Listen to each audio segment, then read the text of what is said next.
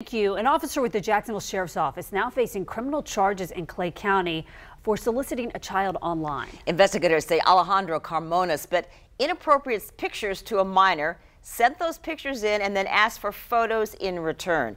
He is a 15 and a half year veteran with JSO. On your sides, Atia Collins has the details tonight. Investigators say that officer befriended a 16-year-old boy at the My Time Fitness gym here behind me. The boy believed he was going to receive workout advice, but instead, investigators say he received inappropriate pictures and messages. Investigators described the messages which they say were sent to the 16-year-old boy through the social media app Snapchat. The suspect sent the victim lewd images of himself, including photos and videos featuring full frontal nudity that also included the suspect's face.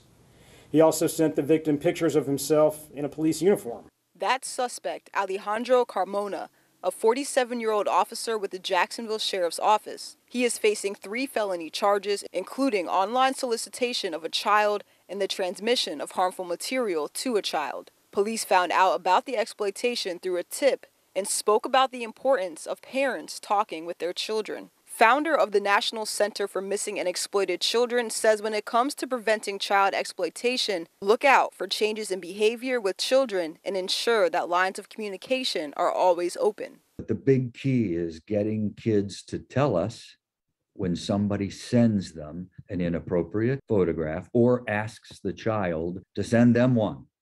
Carmona was placed on emergency suspension without pay but refused to resign. JSO is now seeking to terminate his position. Reporting in Clay County, Atia Collins, First Coast News, on your side.